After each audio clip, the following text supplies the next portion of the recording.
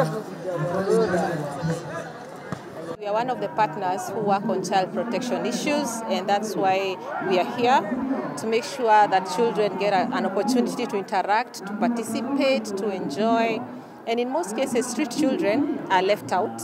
So that's why, as a consortium, we always plan for this day on, on the 12th of April of every year.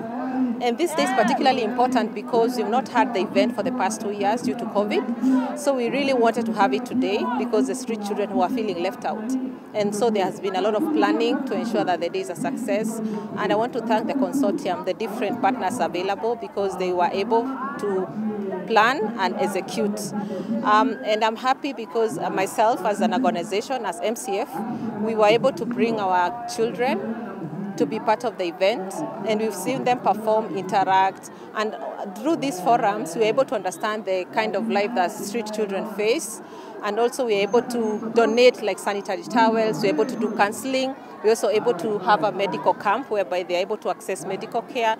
So this is child protection, and that's our mandate. So I'm very happy that this day is a success, and I wish we'll be able to do this annually. Every year we bring together street children, and they're able to access these different um, things that they are not able to access when they are in their bases. Yeah.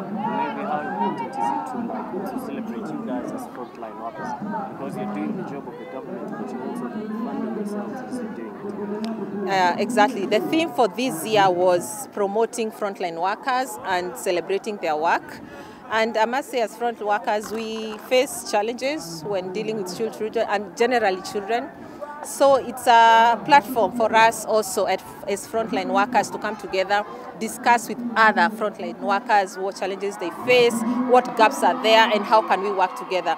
So this day has provided us with a platform to come together and understand how we can work together for the benefit of the child.